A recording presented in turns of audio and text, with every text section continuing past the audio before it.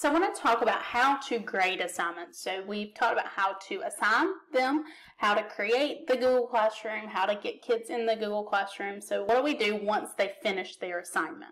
So you notice here at the top bar it says stream, classwork, people, and grades.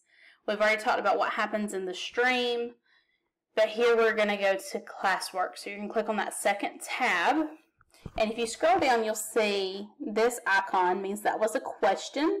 So I can see where students talk back and forth. I can be in that conversation with them, talk back and forth, just to really build that communication piece of this learning management system. If there's a little clipboard that shows that it's an assignment, and you can click on the left side, you see all of your topics. So if you want a specific unit or specific topic, you just click on that and it'll navigate you down to that section.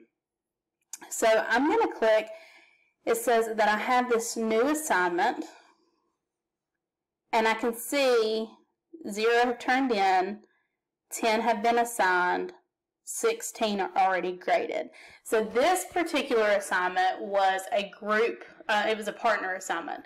So instead of each individual kid working on their own assignment, I knew who the partners were. Now, for future reference, if it if I were doing this assignment again, and I knew these two children were partnered, I would only assign it to one person per partnership. That way, once everyone has turned it in, I don't have 10 missing assignments left over. Because when we look at the grade book, you're going to see okay, this kid was assigned this, but there's a missing grade, and it's just, it's easier if you just pick who it's being assigned to. But if you want to assign it to all of your students so you don't have to worry about that, and then just go back and add that grade, make sure you keep up with who is partnered with whom. That way you know who deserves what grade. So if it says children have turned in, you'll click on that. It'll give you the list of kids who have turned it in. I'm going to click on graded. So these have already been graded. And I'm going to click on the first one. So for this assignment, they had to upload a screenshot.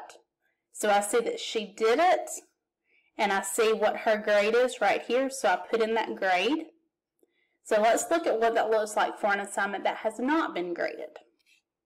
So here I have an assignment where I've already graded 24, but I have two that turned it in who have not gotten a grade yet. They've not received their grade. So I'm going to click on it. And I'll see over here that I actually gave a comment and graded it. I just didn't return it to that student. So what this looks like is you go through and you grade the assignment, put the grade here, add any comments here, and post those comments. And then you're going to want to hit return. So you can return just this submission, or you can return multiple submissions.